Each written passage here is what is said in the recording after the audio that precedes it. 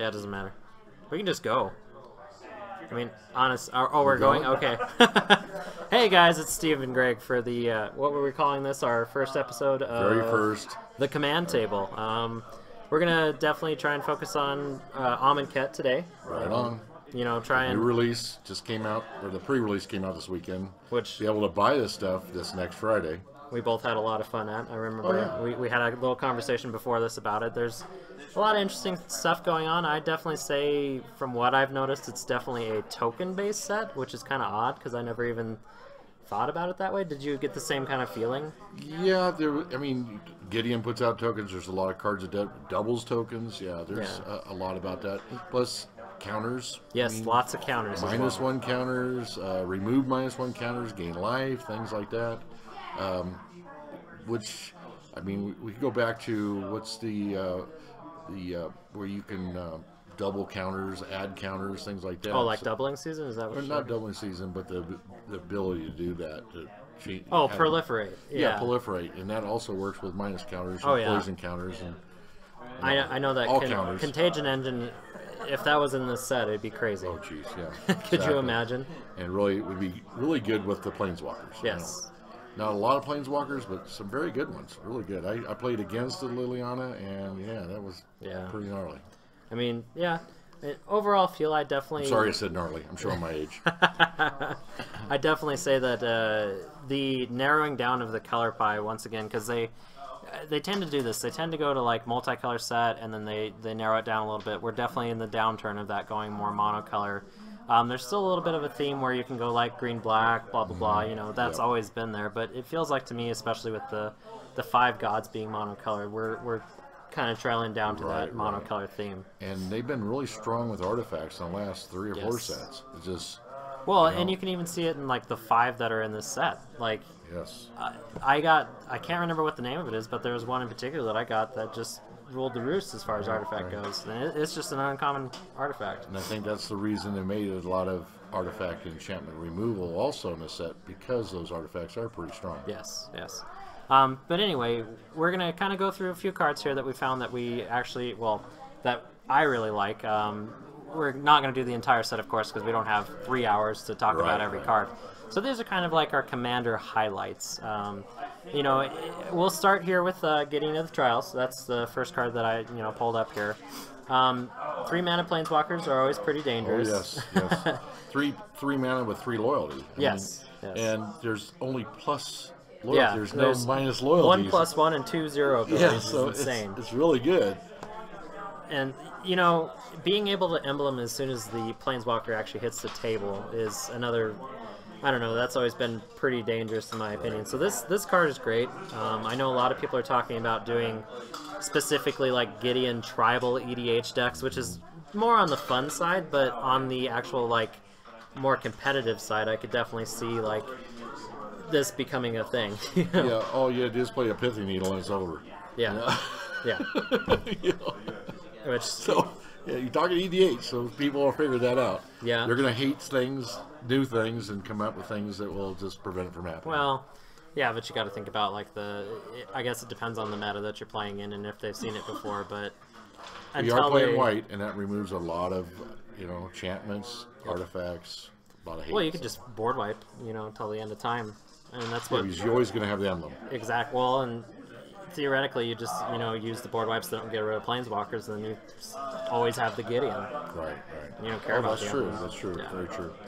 Um, so anyway, uh, that's Gideon at the trials. He's great, great for. Oh, So the first ability until next turn prevent all damage from a target permanent. That's key because there's artif- there's there's enchantments that deal damage. There's there's creatures that deal damage. There's a lot of permanents that just deal damage. So Yes. to list it as a permanent, not just a creature. well, yeah, name Staff good. of Nin. Yeah, There you go. yeah, no kidding. So that's that's very good. Well, and of course, you know, he turns into a creature like all of his iterations, which is great. You know, turns himself into a attacker and all that good stuff. And I, I plan to see him a little bit. Um, and like I said, he's uh, already been brought up in standard a million times, and I, I expect to see him there. Um, I mean, they've been talking about the previous Gideon being banned. They haven't done it yet, but card is really strong. Oh, it's too late, I think. I don't think it's going to now. happen. Yeah, I think if it was going to happen, it would have happened. What was that on Friday or, Yeah. or some? But can you imagine both ago. of these being in standard? Ah, no. Well, and there's three of them. Right. Technically. Okay, three of them, but having the emblem out, Yeah, it's exactly. hard to lose. Exactly. But anyway, that's Gideon. Great. We'll move on to the next card here. Um, so for our next card that we chose, it's uh, Anointed Procession. Anointed, sorry. Need to enunciate there. Um, basically, parallel lives for Still white. learning English, right? Yeah. Okay. well, good. yeah, yeah. but yeah, How parallel. long you been in this country? uh, quite a while. so Parallel Lives for White, um, really cool addition. I really like this card. It's great for uh, a lot of people are talking like Bant tokens or Abzan tokens, EDH wise. It, it's just awesome. The Temet deck that you're building for our Commander Challenge, which will, will Right. come up in a few days. Um, just awesome, awesome card. Uh, Yeah, it, it twice as many. The other one puts in just you know one. yeah. So you put one in, you get one. So this puts in, you know, if you put out three, you're gonna get three more. So it's, I guess I would do it parallel lives too. right? Yeah, I keep thinking of token or clue tokens with this too. Yeah. Like that's going to be great, and uh, overall, just an awesome card. Fairly costed, I'd say at four or two. You know, Yeah, yeah, yeah. And it is an enchantment, and people have to play certain cards to be able to get rid of them. yeah. Um. So anyway, Anointed Procession. We'll move on to our next card here. Now we've got Dusk to Dawn. Um, the way I keep looking at this card is I need to be in Norn the Wary, or not Norn the Wary. That's not what I'm trying to think of. Uh, Doran. There we go. Oh, Doran the. Siege Tower. Um, this card, great in there. Um, I also keep thinking of it in a lot of white weenie strategies, stuff like that. Mm-hmm. Just a great sweeper that has the upside of being, bringing creatures back. And it pretty much protects your tokens. Yep, exactly. There you go with the tokens again. Yeah, And then we need to talk about the new ability called Aftermath. And like you said, well, talking before this this cast here is uh, Aftermath got us both with the black one that deals X damage to target play, or all opponents. Is that what it yes, And because we were playing two-headed giant, it doubled that. yeah, So they do seven. That's fourteen. yeah. That hurt. Definitely a lot of really strong cards and two-headed giant in this set as well. What does the uh, Aftermath on the Dawn do? Uh, return all creature cards with power two or less from your graveyard to, uh, to your hand. Ah, okay. So once again, if you're like in a white weenie strategy, playing a bunch of little guys, I mean the card's great for a little bit of recursion back to your hand. Just a cool card overall. Uh, you know, pretty fair costed as well. Four Yeah. costs for the first effect and five costs for the you know the after effect. I guess is what they're all calling it. um, I really like how they paired the names together with these like Dusk Oh, to yeah. Dawn and Mouth to Feed stuff Yeah, like that. oh, they did a really good job on those. Um, so anyway, that's Dusk Plus, to a Dawn. good movie. Oh, a lot of people have made that comment, that joke about that. Which, yeah, Quentin Tarantino. Oh yeah. okay, so now we're on to Oketra the True. Um, uh, this is more of an assessment of the gods in general for the entire set. I was expecting something a little bit different. Um, some of them feel a little bit too much like their Theros counterparts to me. I don't know if you feel the same way. Yeah, except his head looks like Jack in the Box, but you know, whatever. because I, you know, I found, I don't know, that to be a little bit boring, a little bit narrow. Uh, I know a lot of people really like them, and I, I don't mind them. Like I really like, in particular, the black one's kind of cool, and the blue one's really cool as well. But well, I play the white one, gives you guys vigilance, and Yeah. makes little creatures that are Does it give you guys enchantment creatures. Ketcha the True can't attack or block unless you control at least three or more cre- creatures. It's just the called the season one. And you should have quite a few creatures if you're playing tokens. yeah, that's true. Um, so it gives it, a, it creates a token with vigilance, not giving your creatures vigilance. Sorry, I right, to- right. The, the old to- god, the old god yes, did. you're Yeah. talking about uh, what's his name? I can't remember right now. But anyway, uh, so yeah, went back to the gods. Double strike, indestructible, pretty good. Um, not bad. Three six stats. Uh, I, I don't really care for this whole like meet requirements, ability to swing or whatever. I Right. I actually prefer the it's an enchantment until kind of thing, but that's splitting hairs kind of thing. Right. Um, I mean, there's lots of ways, especially with this set and the minus one counters, to get rid of indestructibility. But he does have six defense, which that's a lot of counters. to Try to play with something. Exactly. Um, so anyway, we'll move on from Oketra here. Uh, we're going to Approach of the Second Sun. This got a lot of talk. I mean, chatter going on everybody was talking about this card because of the ability to win a game. Yes, The thing is, if you got the Gideon uh, emblem, it doesn't work. that's true. That's very true. Um, and going back to the wins the game card, uh, I think a lot of people are really scared of these cards, you know, popping yeah. up. And this definitely seems like a pretty fair one to me. I mean, seven costed, that's a lot. Plus, you have to somehow play it twice, which is definitely possible in EDH. You know, you just either you cycle it with its ability or you, you know, somehow Right. figure it out another way. But it's definitely possible. Uh, interesting card, I'd say. Yeah, the, the ability to cast it and then put it back in your library so you can cast it later, Yeah, that's pretty scary. exactly. And you gain seven life with it. Yeah. Um, so anyway, approach to the second sun. Let's move on to the next one. We've got pull from tomorrow. So another uh, X draw spell. Um, not as good as Sphinx's Revelation, but Right. But I did see this out there a lot for people who are playing blue. oh yeah, If they were playing blue, um, they had this card, and it, it, really helped them, you know, populate their hand. I was playing black, and I was trying to destroy their hand, and then this is kind of counterproductive what I was trying to do. Well, and the small downside of having to discard one card, like who cares? Discard a land, doesn't Right. matter. But I was able to pick a non-legendary. That Yeah. was when I was playing. Yeah. Yeah. So just a cool card. Um, And of course, I always pick the blue player. Yeah, of course. Get rid of those counter spells. And then we've got As Foretold. Um, I know there's a lot of chatter about this card, in particular with uh, you know mono blue control decks or pretty much anything that's very you know blue green control stuff like that. It, it definitely definitely is really cool. Um, a lot of people say Aether Vial for spell or Aether Vial for in general, but it's it's definitely not Aether Vial. Um, the upside of being able to cast any spell or any any type really for X or less is ridiculous to me. I don't know. I, I can't wait to grab a copy of this card and try it out. I think it's going to do a lot of really busted things, um, especially since it's each person's turn, so it doesn't really matter. You know, it's it, it's not uh, restricted by you know your turn or their turn or whatever. So that's kind of nice. Yeah, I can see this in my blue-white deck for sure. You know, and um, you know, put things out there where I don't have to worry about counter spells, countering my counter spells or things like that. A turn, and yeah, so this definitely should be in most blue decks. Yes, I would agree. Anyway, on from that, we've got Kefnet the Mindful, another god. Um, this being my personal favorite out of all of them. Um, easiest to, I guess, activate as a creature, something that you'd want to be doing in those colors anyway, which I guess is pretty much general for all of them. Uh, But his restrictions pretty tough. uh, yeah, but I guess I look at him as a card draw engine. Um, plus, being able to bounce a land back to your hand sometimes is kind of nice. Yeah. Uh, it's, it's yeah, it's it's flying. It's you know, it's it's flying and it's Yeah. indestructible flying. So yeah, you can block almost everything. You know, but Yeah. uh, and drawing cards is really strong. It's three for a five-five, which is wow. Yeah. That's Well- really a wow. And just imagine if you've got like ancestral visions on the table. You know, the turn before. You know, Mm-hmm. you play this, play ancestral visions on turn one, and then you play this on turn three. I mean, what do you what do you care about the hand restriction or the That's hand right, size thing? right. You've got it. You know, But- pretty much. yeah. Well, unless you're playing a lot of spells, but of course, you know, you're playing blue, so most of those spells are probably going to cantrip you into another card. So You would hope. Yeah. yeah, you would hope. so anyway, on from Kefnet, we're gonna move on to Commit to Memory.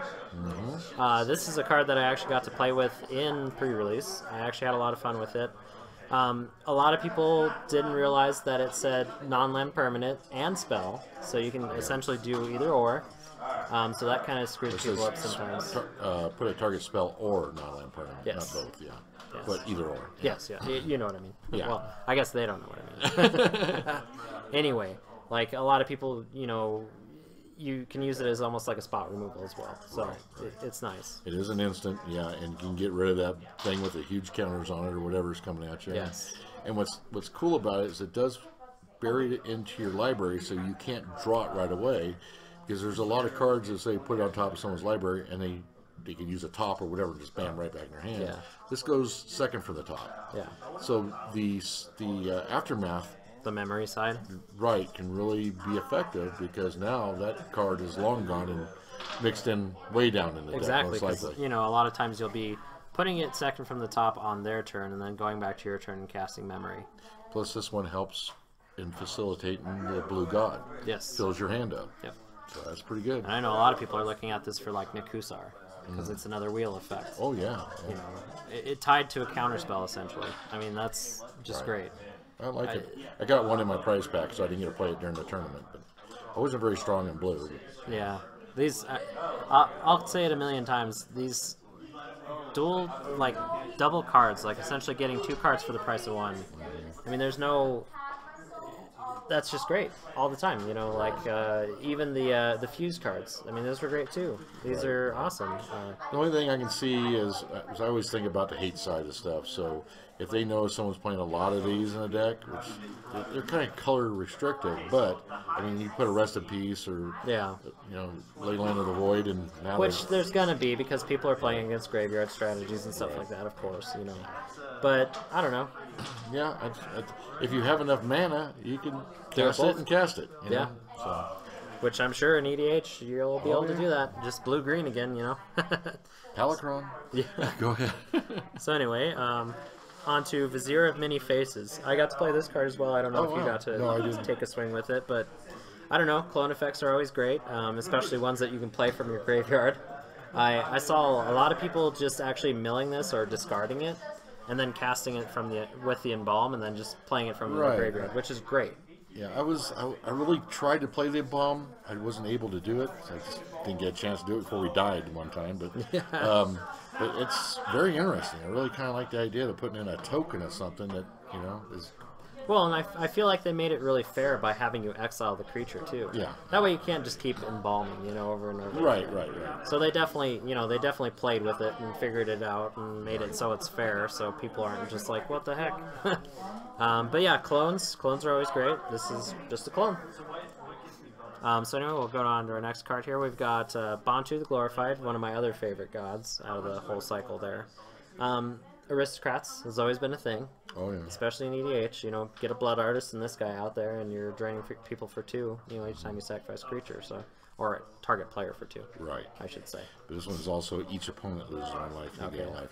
So, but you only gain one life, not Yeah. where you know where they would lose life and you gain life equal to all opponents with your loss. Well, I've But always it's still good, uh, and it, it's this is like Marchesa bound, Yes. obviously, because Yes. it has another sack outlet. Yep. Gotta love that. Like all the sack outlets I can get in there on Marchesa deck. Yes. It has menace, so it's I mean like flying, it's a little tougher to block. Now, what's its restriction? Uh, you basically have to have a creature die. Each turn. So I mean, you're playing black. Right. You're probably gonna have a creature die on your side of the board. Uh, what's the skeleton? The recurrent skeleton? yeah, or endless like that. cockroaches, or Yeah. pretty much any of those type of effects. Like even persist guys or undying Or guys. like. Marchesa. Yeah, Marchesa. any of those, they all work great. Oh yeah. Uh, three, four, four, six isn't bad. Menace, I find that to be very suitable. You know, uh, evasion most of the time, especially you know for bigger guys, uh, something indestructible as well. Um, easily cost, y- y- you know, two to activate its ability really isn't that bad. no, not at all. Plus, yeah. it's not a tap ability. It just Yeah. pay it to do it. That's- Exactly. So sack creature, swing with them. Yeah, exactly. There you go. And in response to them targeting a creature, you sack it. You know, Yep. it's so good. I, I see that one probably going up in price more. I bet. Well, maybe. I don't know. Yeah. We'll have to see. I like the artwork too. Yeah, yeah. So anyway, we'll move on from this guy. We'll go to. Now I put this one as uh, kind of a, a personal favorite because I do have a tribal zombies deck. um, Well, the embalm feature turns each one into a zombie, doesn't it? correct. So there you go. That Yeah. seems really good. I know a lot of people are trying to brew up like black white zombies now for EDH. I don't know. Like you could definitely use um, uh, what's his name? Uh, Daxos the Returned as the commander because he is a zombie. Yep. yep. He makes spirits, but he is a zombie. Grave Reaper or something like that. I don't remember. I think it's the Return. Or are you talking about a different card? I'm talking about the Grave Reaper. All zombies get plus one, plus one. You can remove a creature or card from a graveyard and put a zombie in play. Oh yeah, there's Yeah, it's, it's I, I know which one you're talking about. I can't remember the name though. But there's there's a ton of zombies, Yeah. and you know people obviously love the mini DH. And I, like I said, I put this guy on here as You a got personal zombie favorite. rats. You got just all kinds of, you know. Because I, I, I had the all zombies gain menace until end of turn thing kill me at What's, least once. what's the um, the uh, artifact that you tap, remove a card from the graveyard, and, and print it on it, and it turns it into a zombie too? Oh, uh, Mimic Vat. Yeah, yeah. Or yeah, Mimic Vat would be yeah. Mimic God just goes gets it when it dies, but uh, the mantle, Grim Death Mantle. yeah, death mantle turns it into a zombie, a black zombie. Yeah, Oh yeah, you're right. Now I know which card you're talking. I can see the artwork now. Yeah. yeah, yeah. That card's pretty cool too. But anyway, move on from this and go to Plague Belcher, another zombie card. Um, kind of like a second, uh, second, you know, kind of draining effect. Um, really cool. Uh, the minus counters don't usually matter that much, you know. The thing is, a lot of these cards put minus counters on your own creatures, Yeah, which I thought was pretty odd. Um, but I, I, there's a lot of features that, like the green guy, every time you attack, you remove one and gain a life. You know, which I tried to play. It died right away every time. We couldn't get all the counters off of it. But I mean, it's one way of utilizing the minus one counters being put on your own creatures. Okay, great. yeah. So there's Plague Belcher. And Liliana's Mastery, another zombie card. As you can see, there's a theme here. um, once again, uh, Tribal Zombies it got a huge boost with this set. Um, giving all your zombies plus one, plus one, plus one and enters, it gives you two, two, two black zombie cards. You know, if you can somehow figure out a way to recur this, bounce it, whatever, it's awesome. Oh yeah. Um, mainly put it on here just because it's a little, it's another mastery. Like we, I thought those were going to be a Kaladesh thing. I really thought that was going to be the end of masteries because you know, Yeah. and now we've got a, you know a cycle outside of that cycle, which is kind of cool. Which means that they're probably going to focus on doing these other places, which is kind of fun to me. You know? Oh, yeah, yeah. We'll see Jace's mastery at some point, you know, or right. Nissa's mastery, you know, so on and so forth. So Nice. Yeah, I like that. pretty cool. Um, now we've got Liliana, Death's Majesty. Uh, artwork for this card is I think ridiculous. she's getting older and tired because now she has to sit. I every time I look at it, that dress, man. and I've heard a few people kind of talk about this, like how she is still shadowed, but your attention is still drawn to her face. Mm-hmm. Like that takes a lot of skill artistically, you know, in Yeah, order to pull off, a, you know. My friend Brian is infatuated with her and has play mats, posters. There's a lot of people out there Oh like yeah, that. oh yeah. He likes his Liliana. Yeah. Uh, wife won't let him put the poster in the bedroom though. So it's Uh, yeah. bummer. You know. I think for good reason. um, so anyway, go through a few abilities here. We've got you know, plus one, create a two-two black zombie creature token. Uh, then put the top two cards of your library into your graveyard. So you're cycling your library into your graveyard, which is usually something black wants to do. Then we've got minus three. Return target creature card from your graveyard to the battlefield. That creature is a black zombie in addition to its other type or other, color types, uh, which is awesome. You know, It'd be nice to set any library, but you know. That's we'll- true. We'll go with the uh, your library with the first ability, feeding your graveyard. It seems pretty good. Yeah. And then minus seven, destroy all non-zombie creatures. There you go. And it doesn't affect her.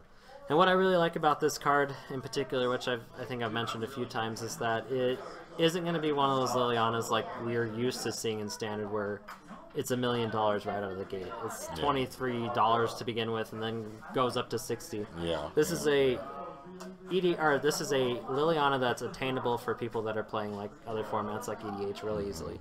'Cause, I mean, I, I see it being like a $10 card pretty easy. I mean, to plus it to put a little two-two black zombie in, it could maybe see modern, because putting those little creatures out, that's what they love to do. You know? yeah, yeah.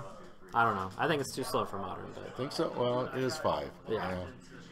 Yeah. maybe if it was like three. But Yeah, yeah. we already talked about three mana Yeah. planeswalkers. You There know, you maybe go. like four or something, and that's just not. It, that's unfair. I played against this um, this weekend, and they did. They used that to put a black zombie out almost every turn, and trying to get through those zombies is tough. It really is. It made a big difference. Okay, so on from Liliana, we're going to Harsh Mentor. Really like this card. Oh yeah, this card on the other hand is modern, yeah. in my oh opinion. yeah. yeah. Uh, but application for EDH is amazing too. Um, think of this as another Purphoros almost, but you're using their triggers instead of yours. So I mean, like anytime they activate a, a fetch land, they're taking two. Like this card is ridiculous, especially for its cost. The two-two human, Right. whatever. Yeah, two two for two two is always good. Yeah, Uh, it has uh, it's a cleric and a human, Yep. which fits a lot of things. Um, and there's a lot of clerics in this set. Oh, yeah. a lot of them. Um, yeah, dealing two damage just for them to activate any kind of a card. I definitely want to want to be sitting. I would love to see this on a Planeswalker, but Well, yeah. yeah, say you know they didn't add the Planeswalker, but Could you imagine sitting down and seeing this while you're playing like Shroom or something like that? You're just dead. yeah, Like if you can't remove it, you're in big trouble. Like if, they, if they slap boots on this guy, it's too bad he's not legendary. Huh? no, that'd be crazy. That'd Oh, be a wow. bad idea. um, so anyway, harsh mentor. Uh, we've got Glorious End, kind of the time stop for red, uh, with a huge downside, obviously. a huge downside. But there's a lot of ways to get around that, of course. We know it's EDH. There's a million ways to get around it. well, if you got the emblem out, Gideon emblem, there Once you go again. See, he's just gonna keep bringing up Gideon. That's how good Gideon is. Gideon, Gideon, Gideon. It's just a good card. right, but see what I'm talking about? yeah, I, I definitely do. um, but I mean, uh, this card uh, definitely has a lot of cool applications for a lot of. Uh, you know, you could even use it in like um, what am I trying to say here? Like, uh, not Krin- is it Krenko Mob Boss? Yeah. Yeah, like a deck like that where you're just gonna win. You know, if you just play this on the t- on the turn that is screwing you up. So you know, this is kind of like split second because the way they worded it in here. Uh, exile not- all spells and abilities on the not stack. quite split second. It's But- not that quick. No, it's not that quick, but it's still. Say somebody goes to overload a Cyclonic Rift, you respond by playing this. It will exile that spell. Um, so I mean, if that's the only thing keeping you from winning, and you know you're going to win next turn, or at least Right. you have a really good chance to win next turn, playing this isn't that risky because then you just you know overrun them with goblins. So if someone attacks and actually taps all their creatures attack, and before damage is done, you end the turn, does the damage go through? Just like with time stop, no. It's it's ending. So if the they go turn. to kill you and you tap this, and now you can counter back at them and kill them, that seems pretty Exactly. good. That's that's definitely the idea. There and it's go. it's I mean at three that's ridiculous. First of all. Yeah, such a big card. Yeah. Yeah, it's pretty good. Um, like I said, you just got to get a way to either win the game that next turn or get around the you lose the game clause. Right, Which right. is definitely possible once again in So, uh, also a lot of these cards, I'm seeing Tamiyo's uh, emblem. Tammy's emblem. Yeah, where if the card were to go to the graveyard, it goes back to your oh, hand. Oh, okay, yeah. Can you imagine something like that? So just like cycle it. yeah, that's just, I mean, that would work. yeah, that's just crazy So- good. So That, anyway, and that's true with the cycle cards too. yeah, that's true. Wow. Tamiyo's gonna go up price now. Here we go. Why'd I have to say? You and your weird speculations. so anyway, on from Glorious End, we've got another god, Hazoret the Fervent. And I had this one this weekend, and I loved it. Yeah, The ability says damage to each opponent, and when you're playing two-headed giant, that's four damage, not two. yeah. Once And, again, really, yeah, really we, I ended two games with this guy. So Yeah. yeah. We uh we we uh, lost a game to it as well. Me and my teammate. We got our butts kicked by this and that crazy enchantment that whenever they cycle a card, each opponent loses two life or something like And that. of course, when after you play something like this, your mind starts working. How can this work in other formats? And because of the uh, what's the ability that you instead of when you go to discard a card, you can pay its lower cost. oh, madness. Madness. I Yeah. keep forgetting about it. But this with madness is crazy. Oh yeah. And everybody keeps talking about this as Heckbent because Hellbent is all the way. Yeah. So this is like one away from being Hellbent, so it's Heckbent. Ah. so you just run it in a Hellbent deck, you know, with all those old Rakdos cards and all that stuff, and there you go, you've got yourself a deck. It is red and it's going to deal damage. And Oh, yeah. It's indestructible. And yeah, it's like Well, and the part that kept getting me was the haste. Mm-hmm. I I always forgot about the. Oh, haste yeah. when people played this, and then it came up and surprised me. Of course, it was just like, well, there's a five four swinging at you. Like, how in the heck did that happen? For three Yeah. mana or, or four mana, wh- what's going on here? Are we playing the same game? yeah, it was a really good card. I really Yes. enjoyed playing that card. So anyway, on to the next card here. And we've got Glorybringer. Another haste, but it is a Oh, yeah. dragon, so they're synonymous for haste. And this is, uh, I mainly put this guy on here for the, uh, what is the ability called? The Exert ability. Um, I definitely got to play against it a lot. I think it's pretty interesting, um, especially if I have a way to untap them and stuff like that, which Right, is right. awesome. Um, or just make it have it vigilance, you know, right off the bat, which is definitely possible in this limited format you have or to, any kind of format. don't you have to tap it to do the exert? Oh, I think you're right. I might be thinking of this wrong. Okay, so yeah, you do have to have an untap ability. Okay, an exerted creature. No, you don't. No, it's just you say it's exerted. Yeah, you just exert it, and if it's got vigilance on it, it's fine. That's there you go. Yeah, that's so- pretty good. pretty cool. An- another awesome dragon in the list of five cost dragons, you know, with haste. so anyway, we'll move on from Glorybringer here and Go move to on green. to yeah, Harvest Season. Now this card is absolutely bonkers in my opinion. Being able to grab a land, a basic land from your library for each tapped creature you control. So a lot of people are talking about playing this with that one card, the Cryptolith card, where you tap a creature to make a mana. Oh yeah, So I mean, that's just crazy. yeah. And a lot of times, um, once again, going back to like blue green, you know, you're going to be able to untap all your creatures whenever you want anyway, or you're not depending on your creatures to block for you. There's all kinds of crazy applications for this, but I keep looking at it in the sense that if you're playing an, an attack deck, you know, a deck that's tapping sideways to attack anyway, Right. even right. if you tap three guys and attack somebody, then play this, you're still getting three basic lands for three. Yeah, or using uh, there's a invoke. There's all kinds Oh, of yeah. things you can do to tap the creatures, and, and, and if you got something like this out with say the uh, enchantment that gives all your creatures five five after it has seven Oh yeah, counters on it. you yeah. know. Uh, Beastmasters. essentially. Beastmaster, that, you're getting double. Oh yeah, Okay. just a crazy card. Yep. Very good. And then we've got Mouth to Feed, one of the uh, best, once again, uh, word pairings in my opinion. Right. Right. Just a good, you know, create a 3 3 Hippo and then draw a card for each creature with uh, you control with power 3 or greater. I Very love good. green draw effects. Yeah. Uh, usually they're pretty crazy if you get to play them. So. Right, right. But this being able to sit in your graveyard for the right opportunity is great too. So it doesn't have to hold up your hand, you know, be clogged. Because I find that a lot of times when I'm playing those bigger spells, sometimes I, I just can't keep it in my hand. You know, I got to play it or blah blah Right, blah. right. So it's great. yes. Yes. Definitely. And we'll go to Prowling Serpopard, the cat snake. Weirdest Wow. creature typing I've ever seen. Yes. We've had a couple weird little cats, haven't we? Yeah, there's quite a Last few set cats there in the was set. a weird cat. Yeah.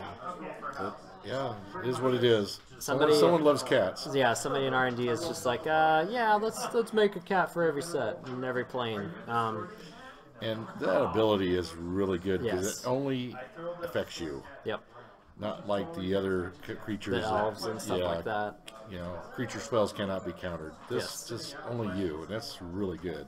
It's a four-three for three. Well, and the fact that it can't be countered too Yeah, is let's just stack it up, you know. yeah. For three mana to cast something after it really seems good. You got seven mana. I'm playing this for three. You can't counter, and here comes this guy for four, and you can't counter that one either. Can you imagine this in Animar? Oh, jeez. Yeah, that's where it's going for me. Oh, you had to go there. Yeah, Ugh. Animar. Animar. Enough said. Animar. Animar, Animar. Okay. Anyway, Prowling Serpopard. Now let's go to Rhonas, uh, the Indomitable. Um, I know a lot of people are talking about this god, especially for Standard, but I think it's great for pretty It much must anything. be. Look at the price. Oh yeah, yeah. um, it- once again, this goes back to what I was talking about. How these gods seem to mirror the Theros ones. Like the ability is pretty close, um, and that's not necessarily a bad thing. Once again, but it feels like they they could have expanded on this a little bit more, and you know maybe made something a little bit different. But whatever. Once again, I'm Three splitting mana, three mana for five five. Holy Yep. cow! And then you can target another. T- oh, you The, can't the target easiest, yourself. the Can't target easiest to attack with, though. I mean, real well, uh, generally speaking, Mm-hmm. like as long as you have a two-two and you can activate this ability, you can swing with it. Well, if you did have vigilance, this thing's crazy because it's indestructible death touch. Yeah. So great on defense. That's a wall itself, offense, you know? Yeah. Eh, it's just a cool card. I like the artwork once again. The Yeah, artwork. yeah, I will go uh, take a second here to talk about the artwork of this set. It's, it all looks amazing. Yeah. Would, would you agree? Oh yeah, Oh, yeah. I really like that. Yeah. Yeah. There you go. Um, so anyway, let's move on to Champion of Rhonas. Um, we got to play this in pre-release. Uh, we got lucky enough in our two-headed giant pool to actually pull two of them. Oh wow! they uh, definitely got killed very quickly, though. Unfortunately, I They- actually played it too, and it got killed really quickly. Oh yeah, they generally don't have a chance to swing, which makes sense because people don't want to Yeah. let it swing. So Right. I kind of like using it as a way to uh, get some removal out of your way. You know, it's not. Yeah, yeah, it's a it's a good Because I mean, if you think about it, they're killing this creature in fear of your hand. So generally, usually what's in your hand is more important. Mm-hmm. So it's kind of funny to think about that way. You know, like Right, right. are they going to kill this guy? Because if they do, then this is just going to be set up for later. You know, but it's thing. the count. It's it put into play, so they can't counter it. They can't Yeah. really deal with it until it hits the battlefield. So yeah, it's pretty good. Yeah. I really like it. And I've got Vizier of the Me- Menagerie. Menagerie? I can't I don't remember Yeah, it looks like a zoo there or something. Oh yeah. The artwork's a little bit confusing, but the effect is amazing. Yeah. Um, the fact that you don't have to reveal the card, you just get to look at it, is crazy. Um, you can play any creature off the top of your library. I'm gonna say the A word again, Animar. Um, Well, yeah, and top. yes, yes. Really good with top. Oh, yeah. Or even Or uh, scroll rack. Scroll rack. Uh, what's the other one? Um, well, the uh, land that puts the creature from graveyard into your on top Oh, of yeah. library. It's black, but still. Could you imagine this paired with Oracle too? I mean, then you're revealing, Oh, but then you can play a land, then you can play a creature, then you can play a land. Like it's just like, ah, yeah, really good. Artwork is. Uh, It's kind of confusing. Um, I think there's a little too much going on here, but whatever. It's it looks okay. Snake headband with all his pets. That's what it I think if it was like narrowed down to like just the snake and the bird or something, I don't know, but whatever. Okay, uh, Sandworm Convergence. Had this played against me. It's a big card. Yeah. Yeah. I got to play it against somebody. Did you really? Oh yeah, in one of my sealed pulls, it was amazing. What was I the, had, what like- was the end results of that? Oh, I I won like pretty handily. Oh, you just saw this one the two-headed giant one. No, So- no, no. Oh, okay. No, that that was a different set of. Uh, no, the two-headed giant one didn't go too too well for us, but this was my individual pre-release. And you know, usually there's a lot of of trying to trying to get away from have to put in flyers, to block flyers. Yeah. You know, you have reach with Yep. green, and you have some of these other enchantments takes away flying, but this just says they can't. They can't even attack. Well, they, And the application I keep thinking of this in is, is like Super Friends. Like Mm-hmm. I'm putting this in Atraxa to Super Friends because it gives you a five-five as, as soon as well Right. at the end step, and then it makes it so they cannot attack your planeswalkers with flyers. Like that to me is crazy. uh-huh. Like it's doing so much for you. But I mean that's just the way I look at it. and it's a green worm creature token, and if you play where you add extra tokens, whatever, that's Well, yeah, this with that's parallel a lot lives. of five fives. Holy cow! or doubling season or any of those. I Oh, mean, yeah, it's it's a great effect. It's it's uh, high costed at eight, whatever. yeah, yeah. But I mean, as But- like a control kind of like aspect, you just put this in late game. You've got a five five every turn. yep. You know, creatures have a hard time attacking you, especially the really good ones with evasion. With You don't feel bad about blowing up the board because No. you're going to get a five five. So Yeah, exactly. Um, so anyway, Sandworm Convergence. Uh, now we're getting into our legendaries. all right on. So we're to Hep- Hapatra. This is the one of the ones that I'm interested in playing. Putting minus one, minus one counters on everything to make little snakes, little snacks. Mm-hmm. Great effect. touch. Yes. Um, you know, every time I see this card, I think of Black Sun Zenith. You know, Mm-hmm. yeah, it's gonna kill all your first wave of snakes, but it's gonna be pretty good afterwards. You know, if everybody has five creatures out, that's a lot of snakes. Right, right. And I don't know, just uh, Another two two for two. Oh, So yeah. good. I wish it had. You know, this is me being greedy, but I wish it had Death Touch on it. But what can you do? Right, right, right. I actually pulled two of these in my my pulls and put them both in, but you know when I did get it out, it was pretty effective. yeah.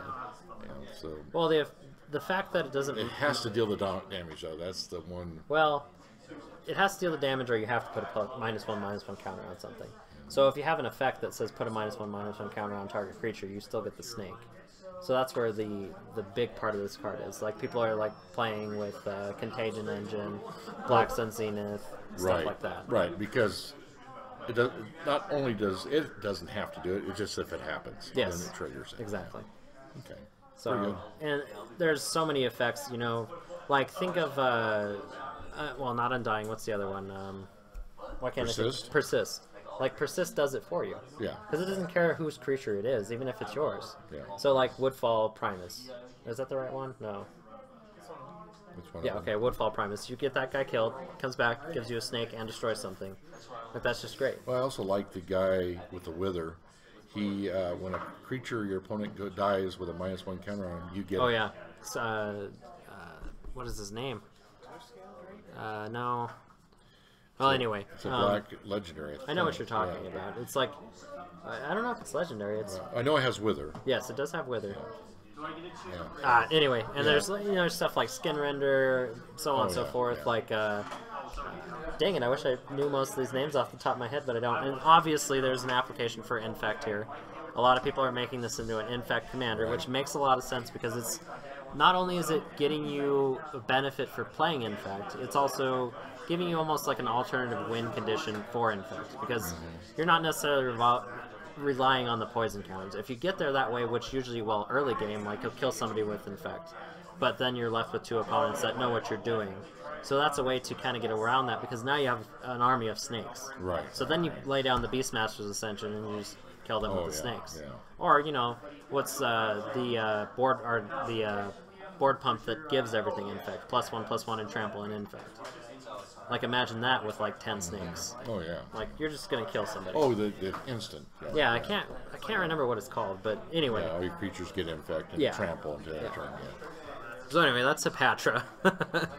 um, now we're on to a planeswalker, or one of the really cool planeswalkers, Yes. uh, Nissa, Steward of Elements. The two first colors. first X cost planeswalker we've ever seen, which is uh, pretty cool, in Yep. my opinion. Yeah, that is. Is then the loyalty is with the axe. The late game that can it could be huge. Well, and that Scry too is really powerful. Yeah. You know, you play this for three mana, and then you plus two it. It's already at three lo- or two loyalty. Well, actually, it's at three loyalty. Yeah. But it could come in legitimately and put turn two five five lands attacking, right? Yeah, and just kill them. Well, not in EDH, but more standard. But EDH would be a little bit more difficult. And they fly. They do. Holy cow. Okay, that's pretty good. Have you not looked at this one No, too I closely? didn't ever looked at the ultimate on this.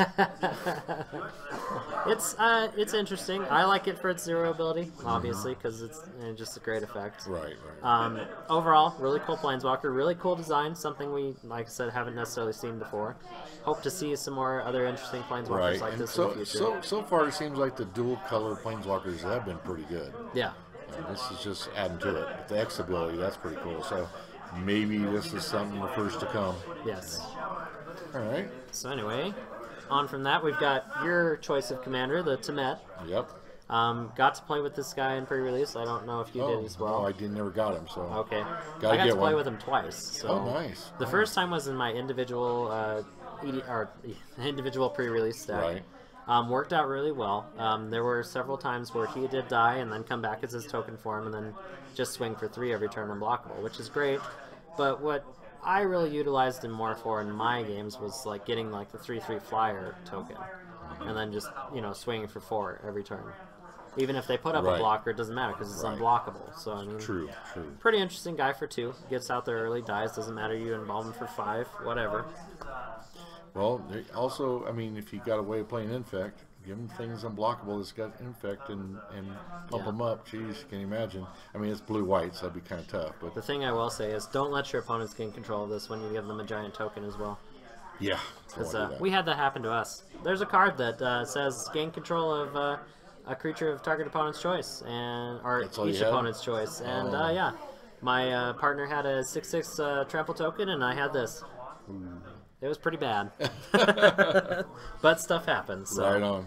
Anyway, next card here we've got Neheb the Worthy, uh, Minotaur Tribal Commander. Really cool card. Um, the discard kind of thing is kind of interesting as a uh, way to play.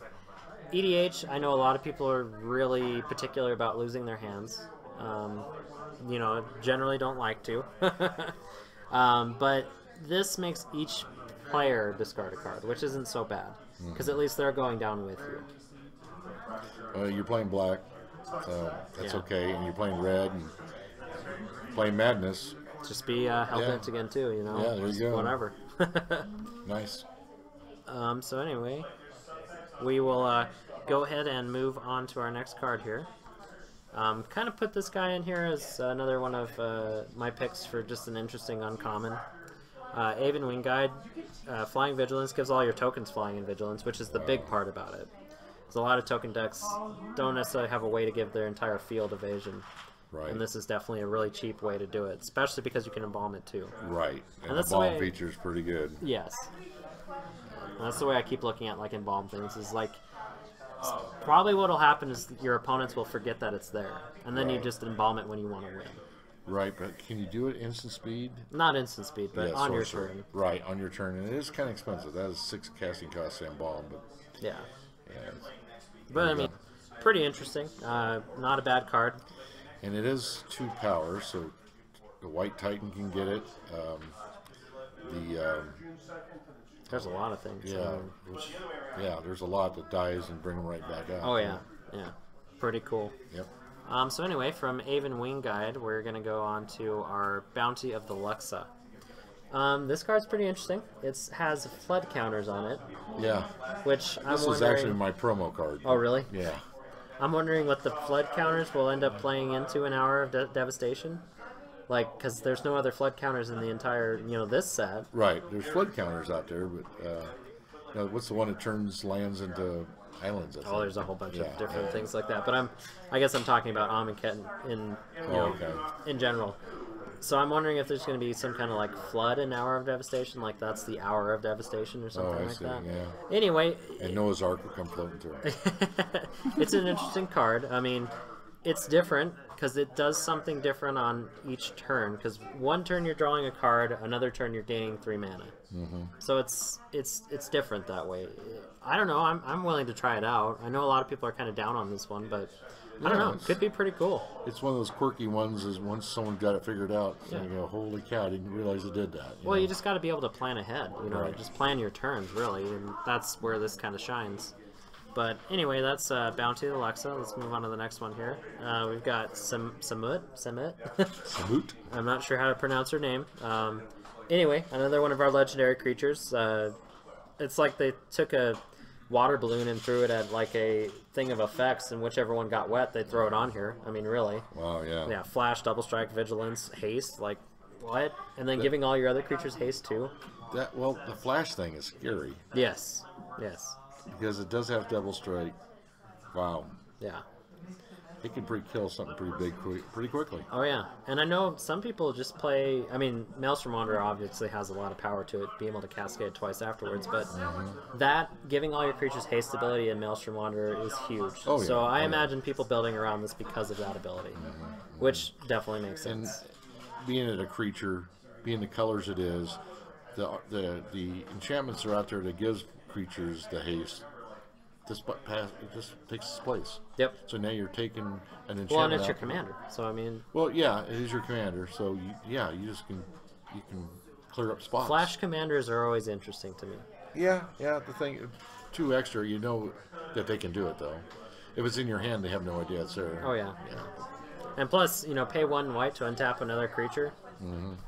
I mean, that that can be huge. Like, say you, uh, I don't know, what's a really big one that you tap for activated abilities in these colors? I can't really think of one off the top of my head. So yeah, this uh, what's the red, black, white um, that lets you put look at the top six cards and put a creature in play?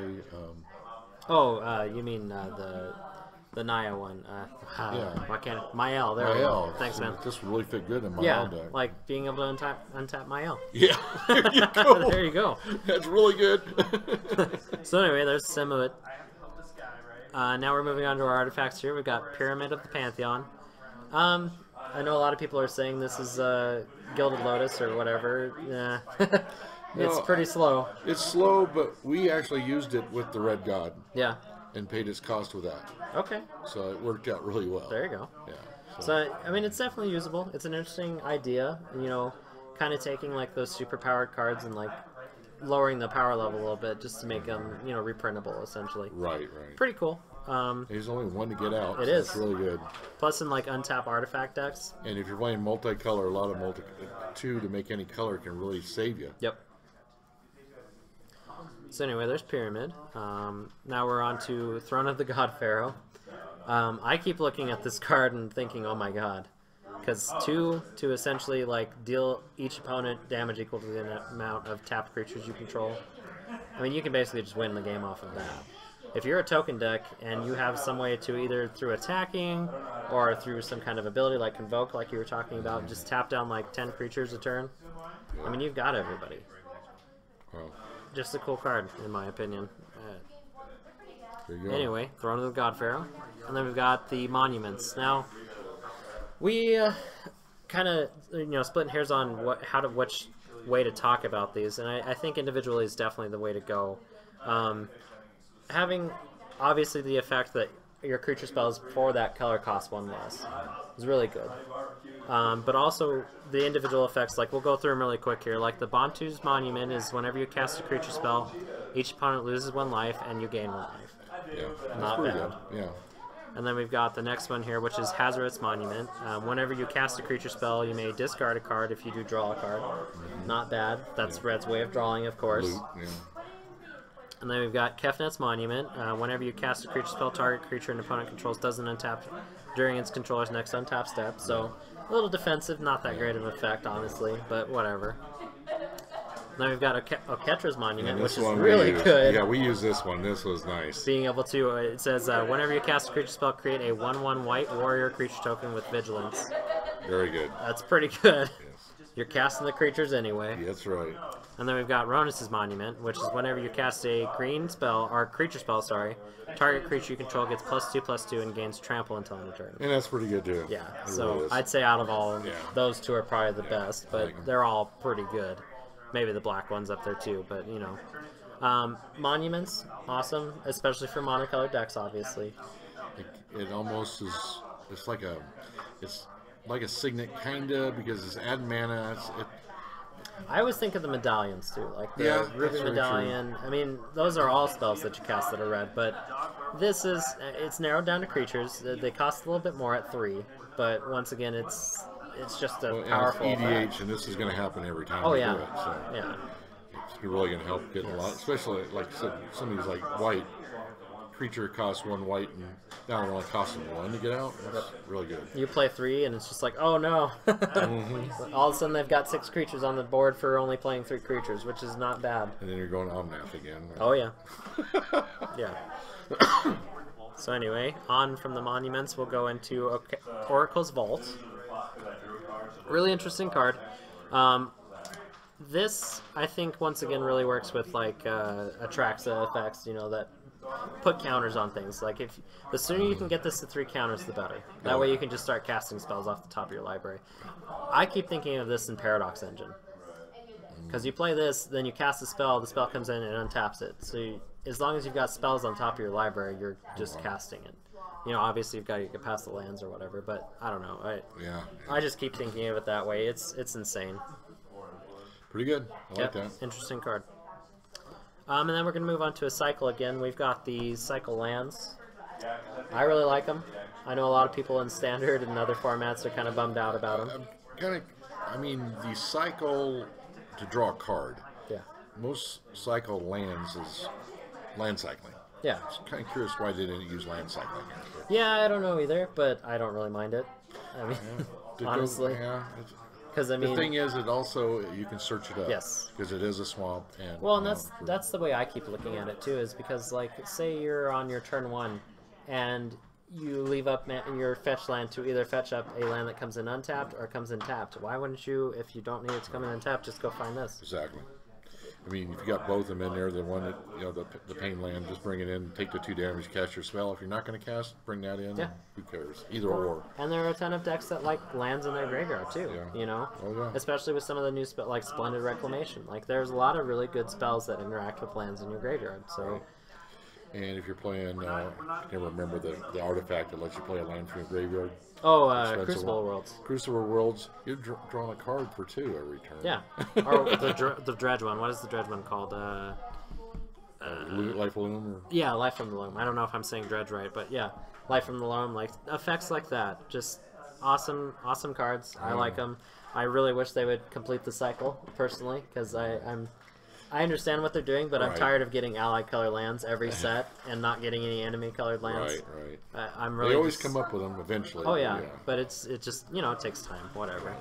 Um, so anyway, what's after that? We've got Cascading Cataracts, which is just an interesting EDH card, especially Yes. for five color decks. Yes. Yeah. Um, being able to kind of filter your mana like that, you know, pay. Say you're stuck on like red green and you're a five color deck, just being able to pay your five red green into it and make all your colors is great. yes. It's indestructible. It's Yeah, nice. which you know a lot of people are looking at this for like uh, the uh, the spellcast guy that whenever you cast a spell, it turns a land into a creature. Oh yeah. I can't remember his name off the top of my head, but Um, yeah. Noyan. uh, the Null Ma- Lol Mage or something. it, he uh, he's a uh, ally. Yeah, Yeah. yeah. But anyway, stuff like that. I think he puts three counters on a land and turns it into a creature. Yes, yes, yes.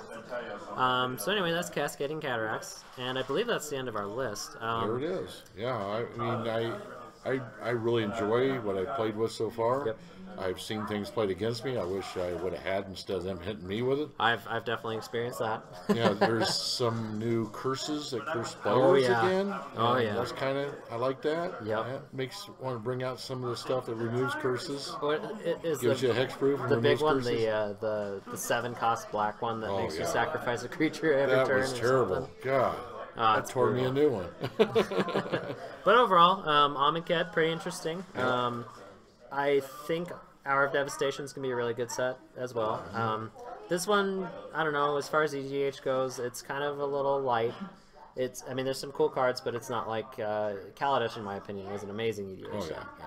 Whereas this one's kind of like an okay EDH set, which you know I understand they need to kind of get all the all the different formats. Well, they're, they're really pushing her to try to get all formats involved. I mean, I don't really see many legacy cards in here. no, not necessarily. But uh, yeah, modern, I can see some maybe being There's played. quite a few modern. Yeah, yeah, and EDH of course, and standard with the red stuff. I can see some some good red decks. Well, and that's the thing too. Is there's some amazing draft cards and some amazing limited cards. You know, whether you're doing sealed, pre-release, whatever, there are some amazing cards for that. Right. And it really goes to show that they they almost make that a priority on every set, just to make the draft environment Yeah, playable, and- which is nice. And their draft is still alive. It hasn't faded away. I mean, Nope. there's been a lot of the formats that came and gone, you know, but draft still seems to go Oh, pretty yeah. strong. I'm not sure. I, I mean, I've been here down Friday night here, and uh, they always seem like they have a good crew. Well, great. Yeah, I think with that we'll uh, wrap up our very Yeah. first episode Yeah. of this, and we enjoyed it. And uh, please like us and uh, show us your love. And remember, Favorite, if you ever Parker, Colorado, come down to Collector Mania. and Yeah. maybe see us down here. And you know, comment, let us know, you know, what you'd like to see us do differently or the same or whichever way you want to see us. I mean, really. so anyway, uh, we'll see you guys next time. Right on.